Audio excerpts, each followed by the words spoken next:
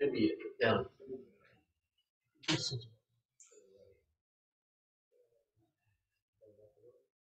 Right there. And then, um,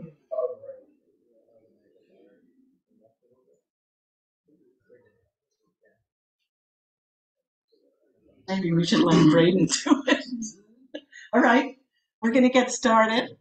Great crowd, great to see everybody. Thank you so much for coming. Uh, just one second with the lights, Bill. Thank you. Premature, uh, work there.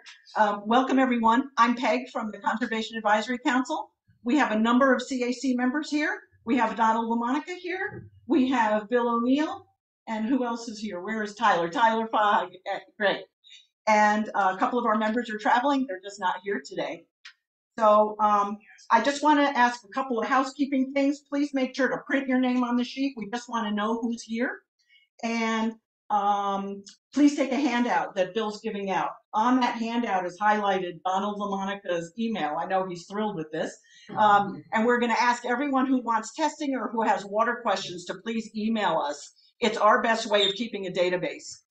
So that, that really works well and we're very, very responsive.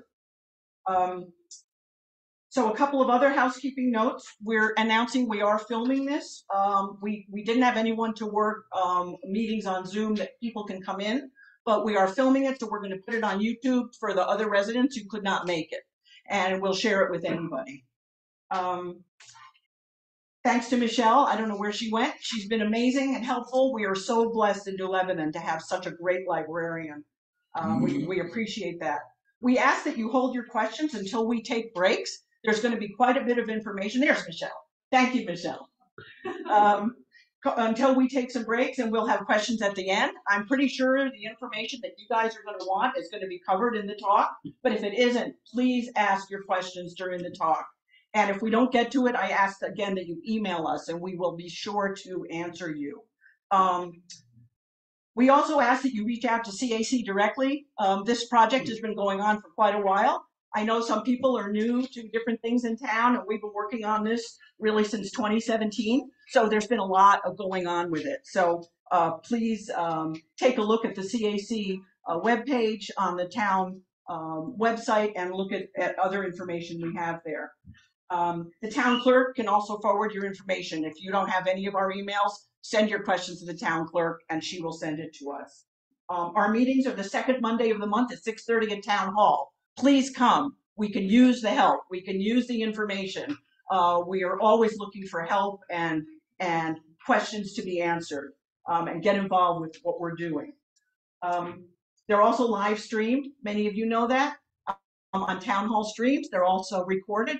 Our meeting minutes are also on the town website, so you can see what we're doing and get up to speed and contact any of us. We're a pretty friendly bunch. Um, we have a natural resource conservation plan that we've been uh, using since 2017. It's our blueprint for what we do in the town.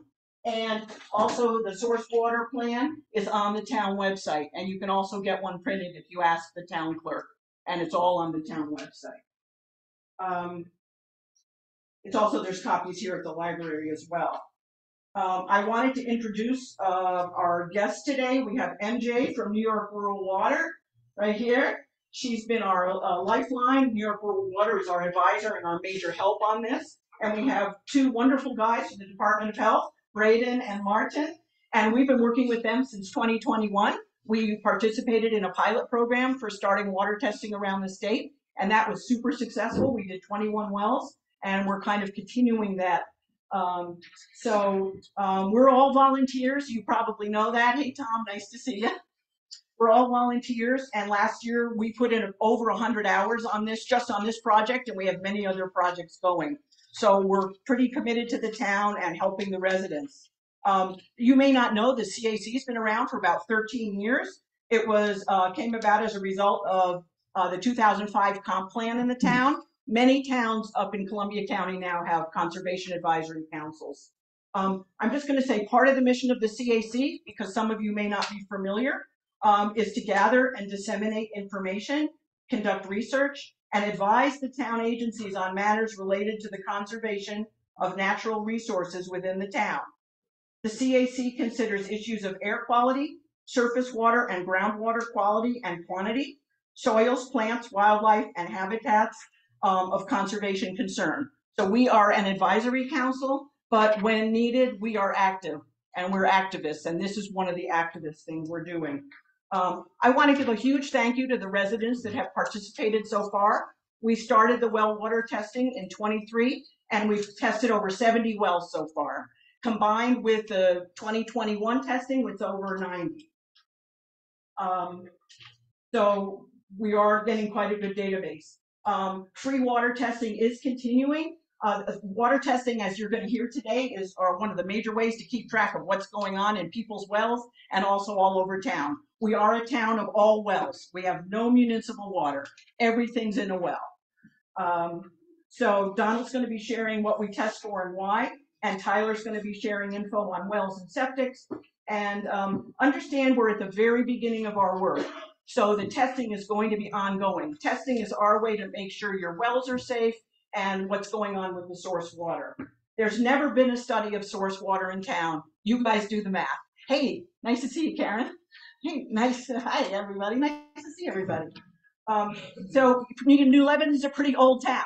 You guys who've been here a while, uh, a lot of us know there's been a lot of things going on on the surface of the uh, soil and all that goes down. So we're looking into all of it. This is a very long-term study. This is not going to be done soon. Um, all you have to do is look at these great maps around to see the very complicated water system we have in New Lebanon. I think if these highways weren't here, this would probably be underground, underwater is my guess. I think this would be all part of the swamp.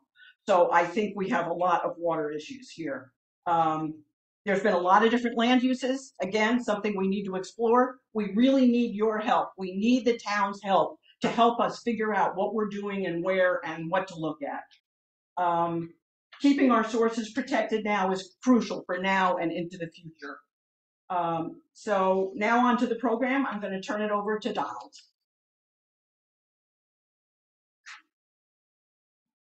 Thank you. Good afternoon, and thank you all for coming. I'm Donald Lamonaca, CAC member.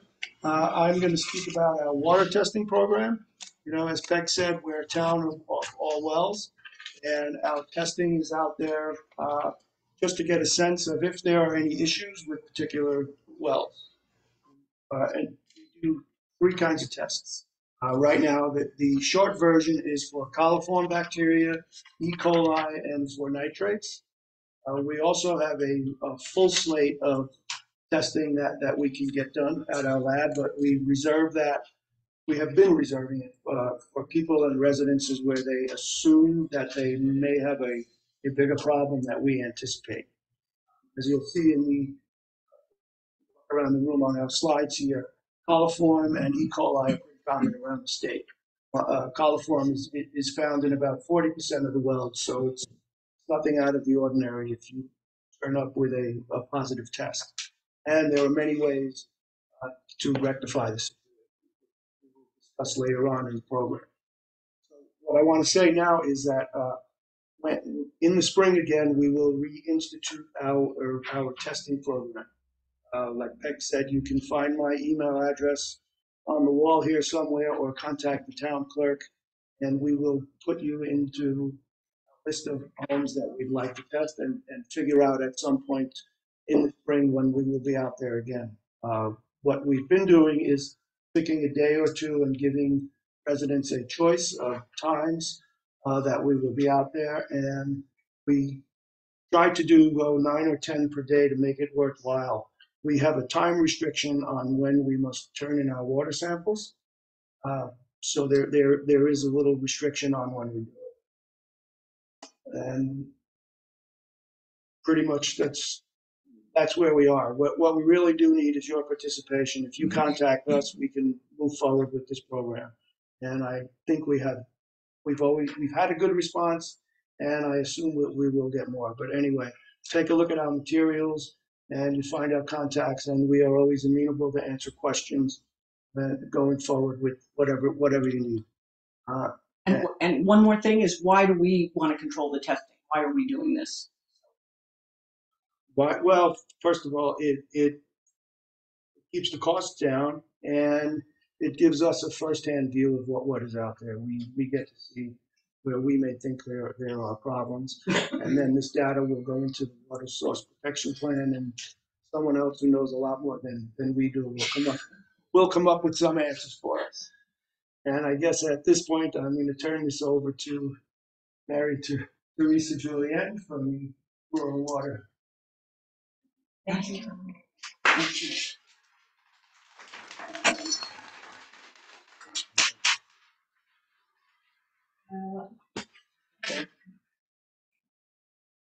The CAC has been working with rural water since 2015, is that right? 2017? So just. My predecessor did a lot of this work for the plan here. Um, you'll see these maps on the wall.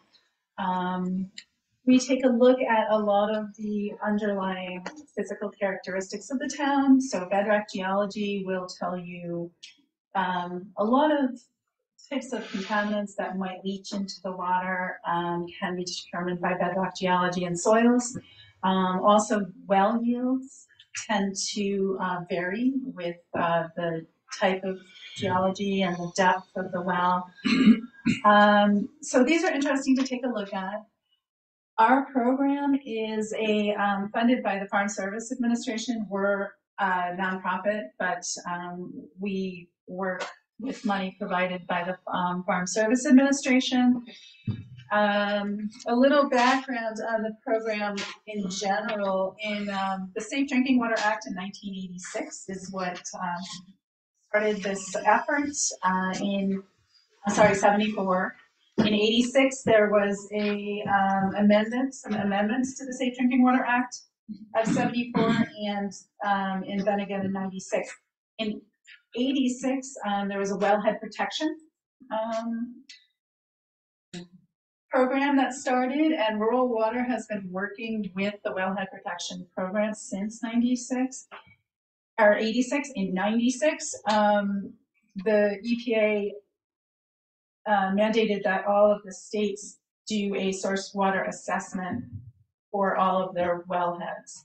So all the regulated wells, and in here, you don't have municipal water, but you do have some regulated wells. If you have a um, community that has that serves over 25 people, you have to um, have your water tested to make sure that it's safe for the residents. So these would be large apartment complexes, mobile home parks, and whatnot. People who rent, who don't really have control over, you know, whether the water is safe or not. Um, just to keep an eye on things and make sure that it is safe.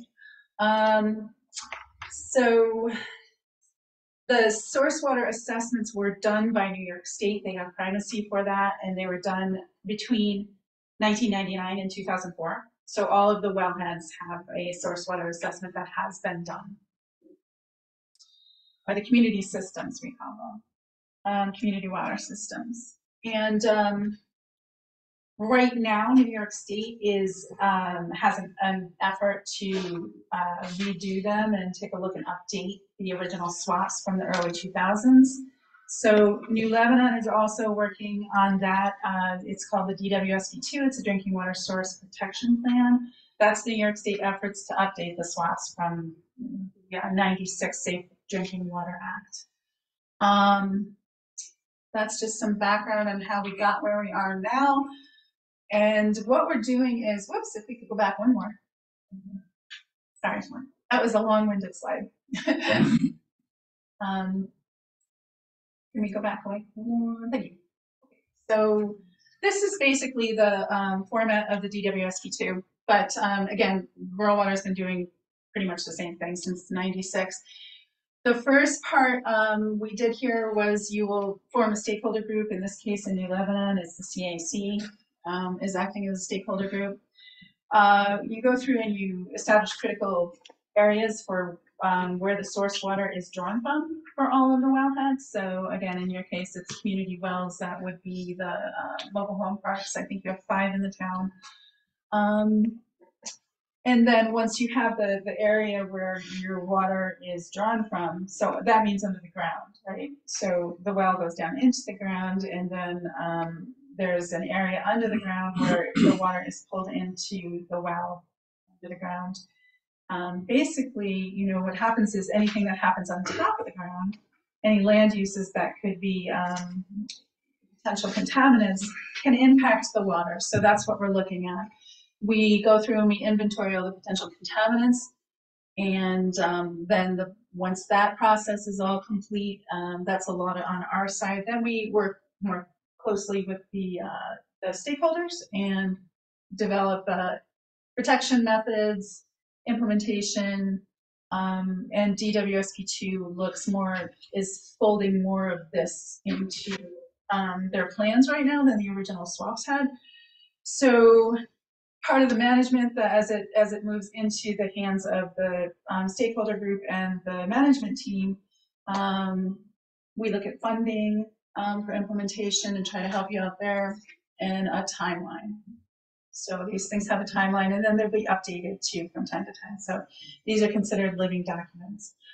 Um, okay, another long-winded slide, thank you. So the goals that the stakeholder group came up with are identify water supply resources and potential threats, recommend and implement protection strategies to protect the identified water sources. And the vision statement for the plan is seek to further develop its water resources, planning, and management strategies in order to protect drinking water resources. So that was our starting point. You need a clicker.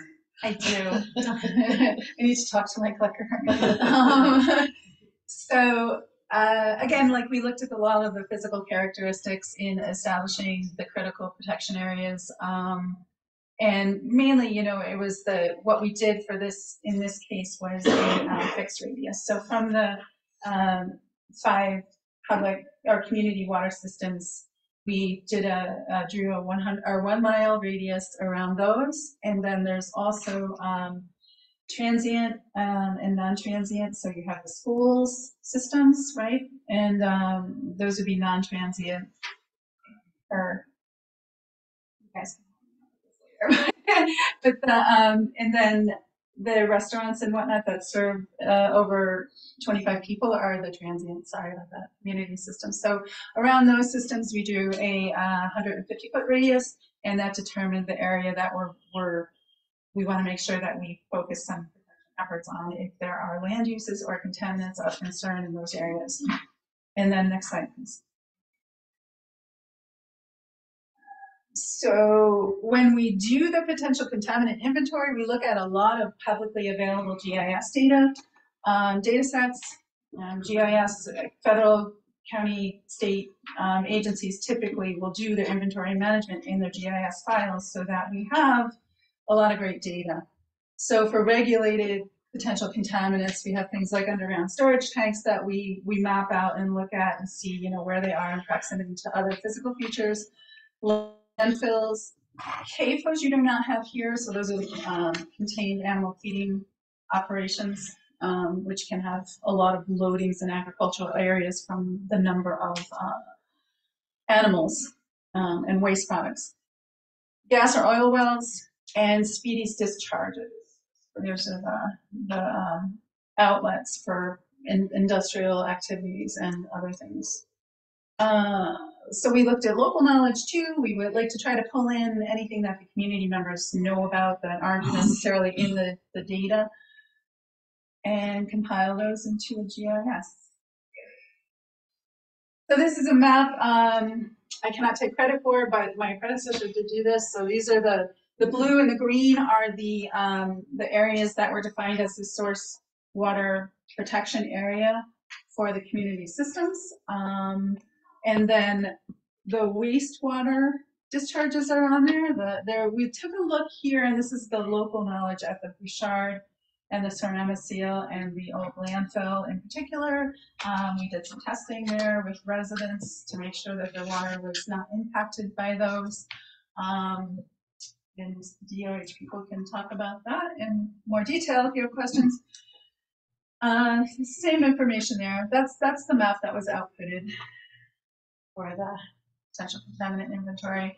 Um, this I can't take credit for, so if you don't like it, that's my fault. No, but anyways, I, what I wanted to do is show you just basically the terrain here in New Lebanon.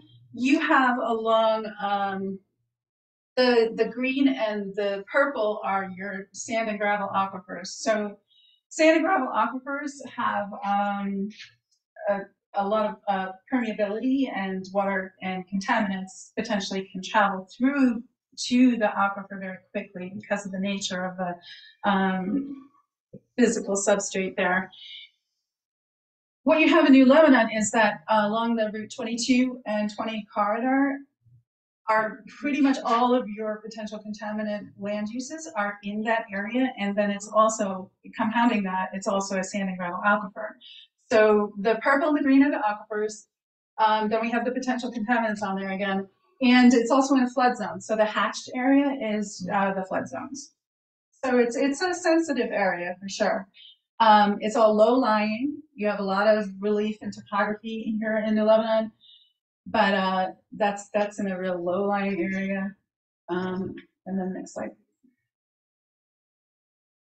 Uh, at the so moving through, you know, those steps in the plan. Now we're looking at priority issues, and the priority issues that were identified for New Lebanon. Um, investigating further on the potential contaminants. Um, water quality in the Route 2022 Business District. I think this has been an ongoing concern in the town for quite a long time. Uh, increased community support, grow awareness of the importance of water protection, which is part of what we're doing today here. So, uh, access potential drinking water impacts resulting from climate hazards. Now, um, you have a, another community committee that's working with the CAC, and you're you're working on a climate hazard mitigation plan with the Climate, county, climate smart.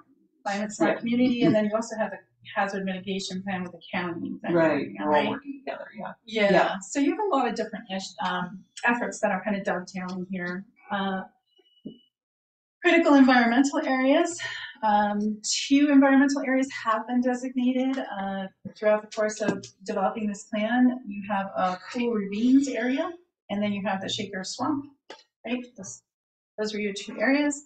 And monitoring testing. So just find out more about the quality of the water in the town. So next slide, please. All right, so just to zoom out a little bit and give you um, kind of a picture of, this isn't, you know, plan specific per se, but just to give you a picture of how your water is flowing in New Lebanon. This, the green here is uh, New Lebanon, and the pink, what, what you're seeing there is um, the watershed or the drainage area for the Kinderhook Creek. So all of the water in New Lebanon drains to the Kinderhook Creek. Um, just as a zoom out snapshot, kind of an idea. So the Stony Kill, for instance, all of the water here drains that way. What a, a drainage area does, these are sub basins. This is one big Kinderhook Creek basin, and these are all sub basins. And a drainage area is defined by uh, going along the topography along the ridge line. And um, anything that falls this way goes into that drainage area. Anything that falls this way from the um, drainage divide goes into a different subbasin. So the Stony Kill here you have in New Lebanon, and this all eventually drains down into the Stockport Creek, and uh, it drains into the Kinderhook Creek rather, um, at the confluence of, of three watersheds. These, um, this drains here into the Kinderhook Creek, so all of your water here from the White Almanac Creek and the, the south branch, is it? North branch? Uh, South branch, it must be um, drain here into the Kinderhook Creek there. The Tackawasick, I might not be saying your names right, but uh, Creek, Kinderhook Creek uh, comes from two different sides and drains into the Kinderhook Creek. Uh, so you have four different watersheds in actually five different subsheds in New Lebanon, but they all drain to the Kinderhook Creek. So when you do have your, you'll see here the Route 22 20 corridor, um, all of your potential contaminants, you know, will be Nassau's problem, basically. So that's that's not something you know that is addressed per se in the plan, but it is a consideration. Yeah, whenever possible, can you just point out the point? Sure. Um, I believe what we're what we have here for the 2022 is. Um, tell me if I'm wrong here, Peg. Yeah, that's right. Okay. Yep. So it's right, it, it, uh, joins the Kinderhook Creek in here. And so the twenty twenty twenty-two is here, right? No, So, so twenty-two goes north-south, and that's then this. twenty twenty-two just shares that little bit in the middle. Okay. Right. Maybe we can catch It's up. a, it's a much smaller view. If you look here, guys, It is a very small view. right, It's you can just- see here, um, on these maps, um, the twenty twenty-two corridor is this small area right here on this map. Right, So right. twenty-two goes north here, twenty goes this way, and then the corridor is just a small bit. So this is the twenty twenty-two corridor, that's quote, quote unquote corridor, that's the business district. I'm sorry, I was wrong here too. It's right here, guys. It's right here, up to sort of Lover's Lane, where, where twenty-two goes south is the end of it. Sorry about that, right there. Just one for the light. You wanna see it? The light is here. Thank you. And then you do have a, a cluster of potential contaminants, um, or, you know, land uses that could cause problems to your water, um, in West Lebanon down in here too. So, and it's all very wet, you know, it's a very wet area, everything kind of whoosh, drains down into that, that one area. Thank you. Uh, so we've been working on implementation throughout the plan. The DOH people have been helping, you know, look at the water quality. Um, and, uh, let you guys talk further about that. Um, and like Peg said, you know, there'll be further studies. This is, this is an iterative process. So this is kind of like a first pass at collecting everything and, um, moving forward, you know, you can build on this, but it kind of is a nice blueprint for where to start looking. Um, looks like. So, Right, this is what you were Oh. talking about before. I, Yeah. I, I maybe got moved because I thought it was, sorry. that was my long-winded Yeah. slide. I'm gonna do it again. Thank you. So, uh, there's been a lot of, um, participation here and a lot of partnerships, um, have helped along the way. And I think, you know, the, the more people you get on board, the stronger, you know, anything is. So, uh, there are a lot of people to thank. I'll let you, you know, get into details here, but a lot of people have helped in different ways. Um, and then the next slide, I guess that's it, yes. Great, so lights can come on and we can have questions for MJ now if you have any, and also about the water testing if you guys have any. Are you presenting? Okay. Any questions? Yeah, yeah. If each of those tests uh, positive or what's the next step? So the DOH people, um, will work with, um, with people. Now, the thing about the, what you have is about ten percent of your population are in the community water systems in New Lebanon. And then the ninety percent, the rest of the ninety percent are all individual water supplies. So the individual water supplies are not regulated by New York State. It's up to the homeowner, you know, to test if they want or not. And then any kind of, um, remediation that might be needed there, DOH will, is happy to help with, with and guide people, right? Um, And, and we give advice too.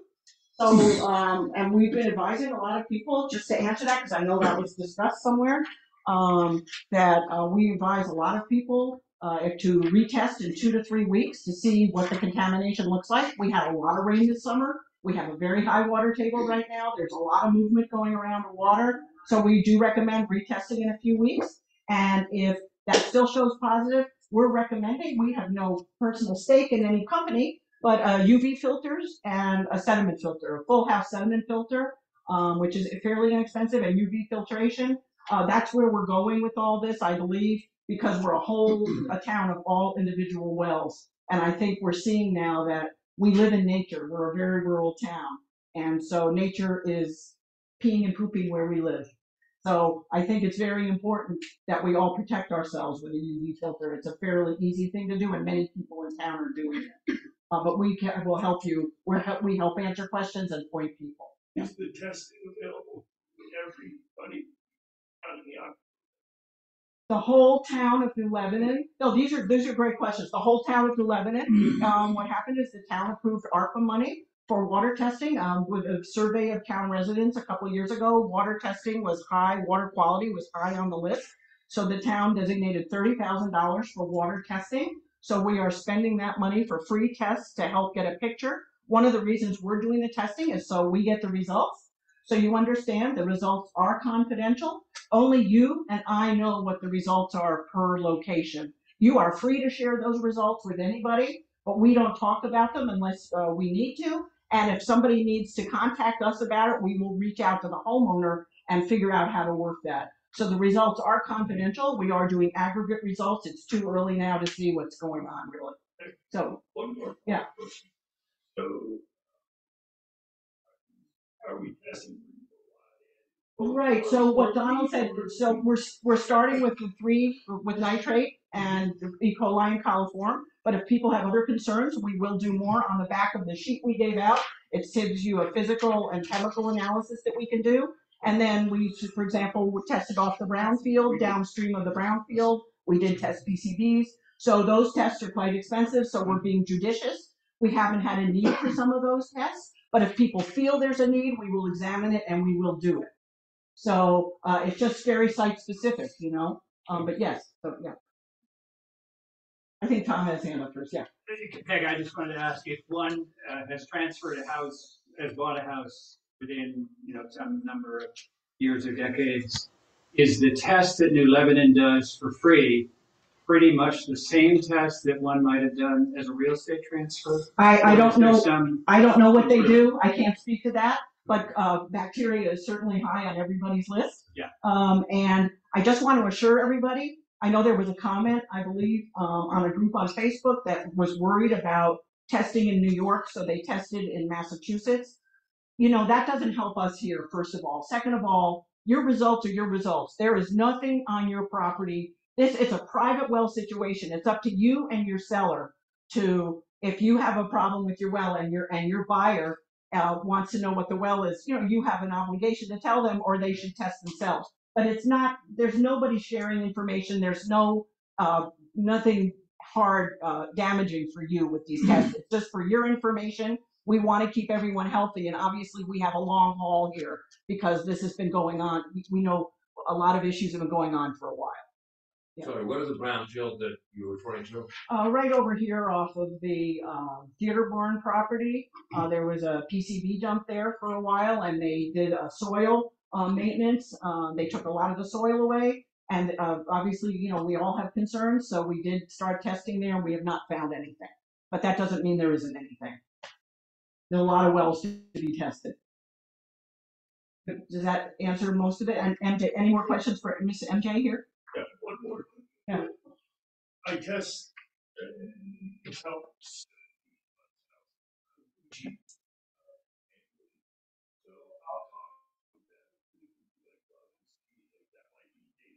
I'll talk. Oh, yeah. We would love any We data. would scrub it. Confidentiality. We test it. Right. And you could ask people if they mind if we have it. I know everyone's information, but no one else does. We did everything by number. You see, we have a sample test over here, and everything's done by number. So nobody knows who anybody is except for me. And if Use you're- the lab and, Yes, capital region, yeah, uh, yeah. And, um, uh, so we, and go ahead. Yeah. So I think Martin, uh, would you like to, do you have some things to add maybe? Yeah, Sure.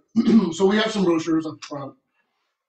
Um, addressing coliform, um, just the basics on test your wells and roadside springs, um, which I know is an issue around here. Uh, I'm more happy to answer any questions about treatment or testing results. And we also have a sanitary seal well head cap. This is what everyone should have. Um, you know, we get a lot of sources of coliform come from wells in our property.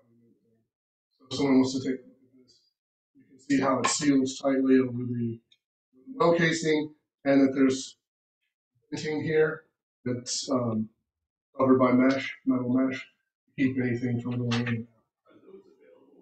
Free of charge. So we do have a um, testing program, but it's currently not in this. I'm well repair program, but it's currently not in this county yet. Um, we are looking into that. Um, I could give this one away. Have to do You it out. you have to promise to take it. Have a- We'll pass around a little, um. Do you have any idea what that would retail for? Yeah, what are So these are, um, I bought this from Grainger on like sixty. I just got one from Grainger too, How right? much was it? Fifty? About the same, Yeah. and, um, they're right up in, um, off one fifty-five, and they'll go and you can go pick them up. Yeah, we're happy to answer any questions. You must know the answer to the question I put to Peg, that is to say, have the tests uh, substantially changed in the last number of years? You know, there's the, because most people, when you buy a house, that was my impression, have an inspection that includes the water. I think most often it's just a coliform test. So.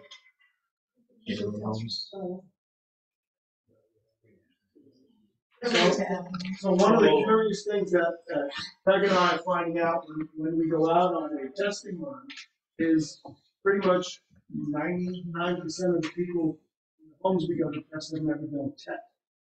So this is a uh, wonderful opportunity down to, to get their roads. As a start, you know, for the things that we would test for, uh, something that's really worthwhile. And if you do test positive for coliform, it's not a, a big deal. You know, we've tested hundreds of wells personally throughout the state, and the average is about forty percent of homes are coliform positive. The range. And what's the E. coli at? The coli is pretty low, it's six percent of what we've seen. Um, if you find E. coli, that's something you definitely need to address right away. There are several ways to address positive coliform wells, depending on your situation and your, your other analytes. How often do you recommend that uh, the resident test their wells? Every year? We suggest annually. Um, if you do get a good result, might delay it for a year or two, but to be safe, we definitely recommend doing it. Thinking How of, about, how about testing in this area for things like, um, uh, heavy metal? Or, I, I can answer that. the general recommendation Go for well testing for bacteriological contaminants like California coli is once a year. But for everything else, it's usually like three years, three to four years, something like that. Because coliform contamination is a lot more variable. That can come from human sources and animals and stuff like that. But the heavy metal stuff is pretty consistent. well, most, most of us have very hard water. Oh yeah, I And- and, uh. So that's because of minerals, right? or it's usually uh calcium carbonate, I think, usually dissolved rock. Compared to it's blood scale. Right, and, and as far as testing for other things, again, we rely on you guys. If you're having a concern or we know where you live, we may investigate it, or if you know something happened there ten years ago, we rely on you. We really need that, you know, citizen science stuff to test, and we will make a determination as to what to test for. You know, we, like I said, we started some PCB testing, we do this physical and chemical analysis, which the list is on the back of the handout. And so that's what this test is, all of the physical and chemical, color, turbidity, odor, those things. But if you are concerned, if there was a battery factory, we don't really know very much going on in New Lebanon in our research. That doesn't mean things didn't happen. We don't, we have a pretty low PFAS concern at the moment. That doesn't mean there isn't something going on. We just haven't found it. The only thing that was found was in 2019, they tested the wells on the uncapped landfill. Uh, the DEC tested those, and those did show PFAS, and they tested all the houses down gradient twice over a two-year period, and nothing showed up in any of the houses. There was nothing. Um, so we're working with Dean Barrett to get that landfill, uh, that clo- thing closed, but, you know, so far ha- we haven't gotten it closed. The high school did test positive. We have no idea what the source is. No one does. They put in filtration. They have mitigated that. But when there is a concern, we will go out and test. That's what we're here for. We really need to know what's going on in town. We need to get a handle on it, and nothing's really been done all these years, so it's a few things under the, under the bridge, so. How long will the? uh, Where is the, funds- excuse me, where is the landfill? Because a lot of it, or at least I, I- Oh, Several of us behind the high school, behind the high school? Meg, I think it's on your- How long will the ARPA funds hold out? Until we use them up. We got about twenty thousand dollars left, we spent about ten. And then the idea with this, all this is try- trying to explain to everybody is, once we get our implementation plan um, satisfied to the DEC, uh, then we can apply for more money for more testing, which is really important. So we're really working hard with the DEC to try to get them to approve our plan. So, um, so you guys have any, yeah, So, um, I have, I did my own test and I have two my, but just the tricks, saw the result. I don't know. I did, I showed it to you. So, Okay. But, um, and, uh, apparently people think, we have cars that people dump in the creek. With our house, old cars. And various other people have built it. They're all smashed up. It's from like the thirties and forties. Um, and so that's maybe where the PFAS is coming from, I don't know, but I, I got a, a filter, but I haven't tested the water from the filter, will you do that? We'll talk I'm about, it. let's curious talk to know about it. the filter's Yes. working. Let's talk about it. Yeah. Okay, great. You wanna- Yes, Are we gonna get into shocking our wells? I think Martin just covered it, but Well, We have shocking some, is- um, advice on our website about shocking in, calculating how much to, how much bleach you need to use, the steps you need to do to make sure it's done safely. You Want to mix the bleach with water before you pour it in. You also want to make sure that water doesn't go into your septic. We have, um, some advice. And you don't wanna use full tanks for that. That's an easy word for- Um, Since water is gonna be coming, shocked water will be going through uh, toilets and all, there's no real way to keep it out of septic. Well, you, if you can, you need to figure out a way to flush some of the, most of the outlets. Like Open up it your hose outside tap. tap. we can help, we can help you with that. Yeah. We can help you figure that out. all in the Um, so you mentioned earlier UV or UV treatment. Um, can you describe how much that would cost for just a whole, a regular private home? And then at what point that gets applied, you know, at the well point, at the top point, how that works? Can you get into that? or you So usually, once the water comes into the house, Right after. a- after the pressure tank, there'll be a, there'll be a filter put in to keep the sediment out, and then you'll have the UV light system. Um, that can, a light bulb and then a quartz sleeve periodically. Those systems can be installed depending on your existing plumbing equipment and electrical setup, seven hundred to twelve hundred dollars. Um, to maintain those fairly inexpensive and buying new filters varies on how the water is. Some people might need to change things every two months, some people would be okay it once a year. Uh, keeping the bulb clean and then replacing that bulb uh, recommended yearly. There's also chlorine is another option depending on what's coming in. There's A lot of sediment, a lot of iron. There's several options. Should we, She had a oh, question. okay. Is there a certain distance between the well and the septic tank that makes it so that it won't leach into? There is, I think it's, um, you know, I'm talking about, I was like, 200, 100 feet between the well and the septic. It depends on where you live.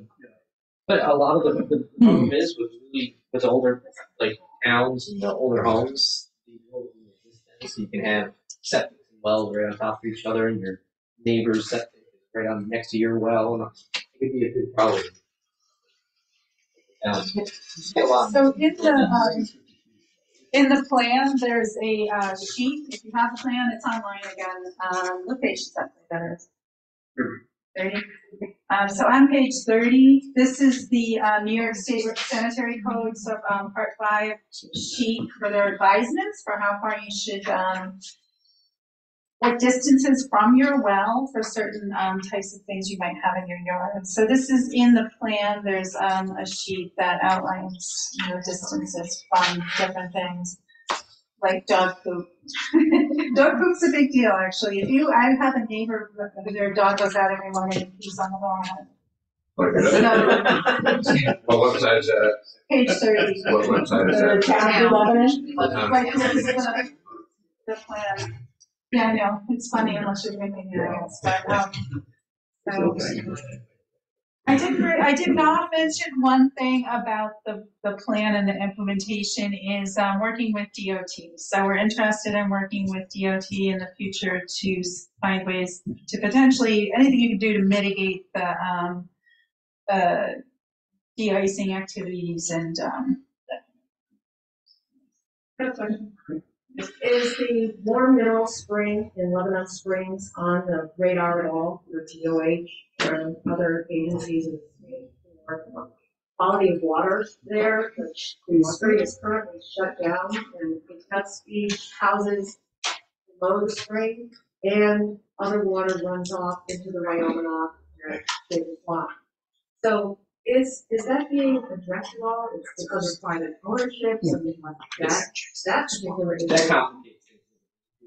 Private ownership is, uh, I think technically, from our perspective, roadside springs, we would just uh, recommend nobody drink it, but the fact that it's a private ownership spring that's feeding houses below it. I remember we, we were here in twenty twenty-one, I think, there were some houses that had the piping still set up, but they had it capped off in their home, so they weren't drinking that water. But it's, the problem is too, is piping is so old, and I don't think any, it was very well documented from, we learned speaking to people around here. So, um, it's hard to tell which homes are actually fed. I don't know if that's. a- I, I, you know, it's a, it's actually, you know, as you know, Karen, a complicated issue, and it's something we're going to need to address. We've started to address it. Um, the DOH typically hasn't really wanted to, they, they kind of put it back on us to kind of figure out how we're going to address it. It has to be addressed, um, because it's on private land now.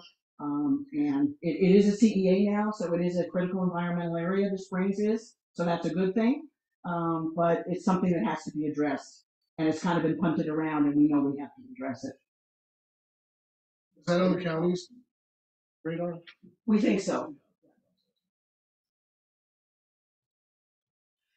Okay, so, yeah, so we're gonna move on to Tyler's part, and then you guys can have the floor again, or do you have anything more to say? Okay, good. We'll move on to Tyler, he's gonna cover a little bit about wells and things, and you guys can jump in too. Yeah, it's a good, Yeah. everybody, I'm Tyler. It's a good conversation that's been started about, especially with um, septics and wells and proximity and stuff like that. No, just for the video.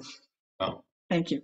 Um, yeah, so a lot of this might be just kind of common knowledge information, but it's stuff that uh, we've been put through the uh, the school of home ownership the last couple of years with our well. So I thought I would share just some things that I learned, and um, hopefully it's not then you're helping me develop my public speaking skills. um, so yeah, we were talking about the wellhead, um, and then uh, this is basic diagrams. And we have uh, well pumps that are like in their basement as opposed to in the bottom of the well. Some, sometimes, sometimes sh- shallow wells will have. We see a lot of those. Yeah, Yeah. that doesn't. That's not represented here, but this is. Have um, we have a really deep well. It's 500 plus feet, um, and uh, the pump at the bottom, and uh, when it turns on, it, it has centrifugal force applied to it, and it actually applies it to the line, so a torque can help um, mitigate that uh, action on the on the well line and help preserve that. Um, pressure switch turns the pump on and off, and then uh, your pressure tank um, not short cycling the pump because you don't want the pump to turn on and off every time there's a turn the, your your water. on.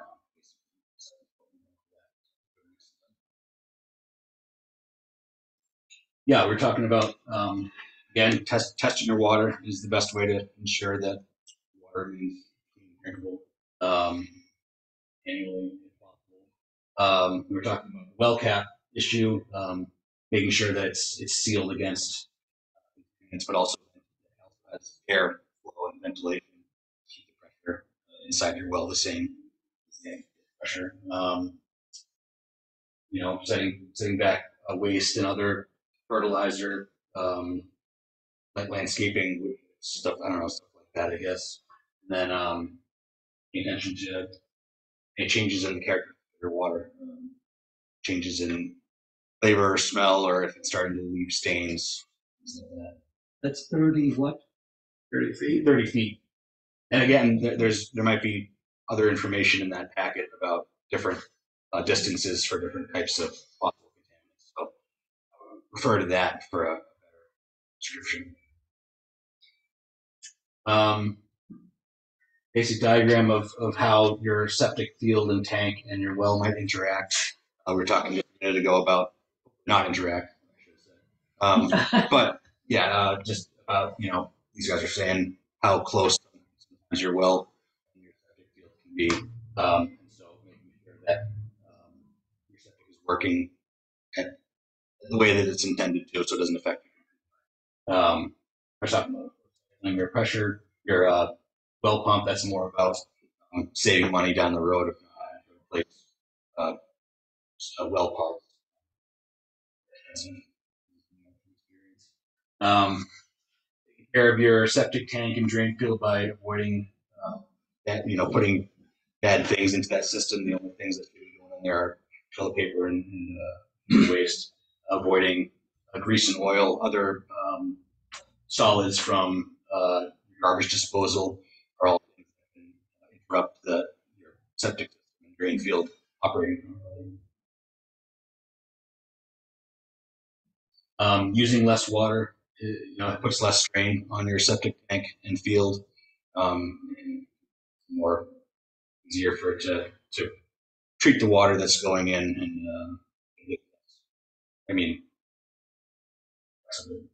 um, then having your tank pumped regularly and, um, avoiding board activities on your, on your drain field, like tree, you know, planting trees or driving on and stuff like that. They're usually pretty shallow, like a couple feet maybe, where the, the um the effluent kind comes out through those um those pipes and, and drains into there to the leach field. So good background. Yes. Typically, how many feet out from the septic does the drain field go?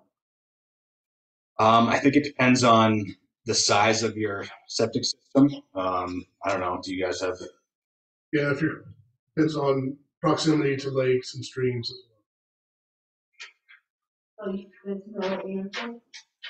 Um, your, your your question is how far away from the tank are the lines?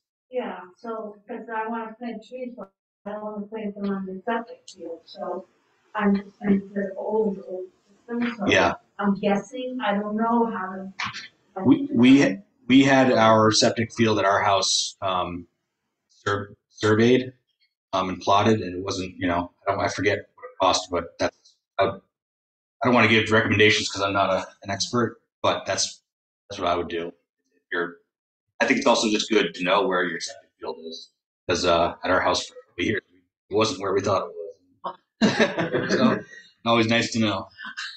Roots can do a lot of damage to those components. Instead of a septic field, uh, we discussed dry well instead. You know it. Familiar. Do you guys know about dry well? We'll have to look that up. Email us, email us, please. We will get the information. Well, I have one, but I'm asking. I did too, yeah. Anything else? Those are my four slides. That's So it. No one else has any. Any other questions for Tyler on this or any of these experts? Yeah, Chris? I have one question. Um, I've always been told that it's important for the, um, septic field to keep the grass at a, like, a certain level so that it can, um, out of it, you know, all the, dry off and um, as part of it. So basically, Mhm. is, is it recommend, is that still the recommendation? Can I let my field get pipe or metal on it? Can I, you know, what, what can I do with my? Because as Martin said, deep roots are damage that system. So, and uh, you know, certain grass species even grasses can have pretty deep roots. So, Oh, over the tank. very fertile soil. A second question I had is, um, is it possible to use part of the septic field as, um, thinking about some solar, but I assume I don't want to shade any kind of. That's great. I'm not sure. I, I um, as far as like liquid from your septic field having the ability to evaporate as opposed to drain into the ground, I'm not sure what the what the possible benefits. Also, Yeah, right. Yeah, you definitely don't want to have like the foundation of the panel. Yeah. So if your field fails, you have to dig up your whole field, Yeah. line it, and then dig up the solar panels out. Points, thank you. Thanks, Tyler. Yeah, sure thing.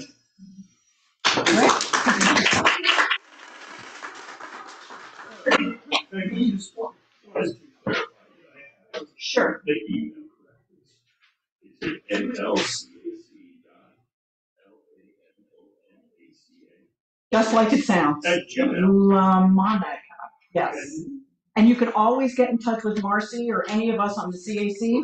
All of our, e- our names are all on the town website, who was on the CAC, and our emails are all nlcac dot our name, except for Bill, but we won't talk about Bill.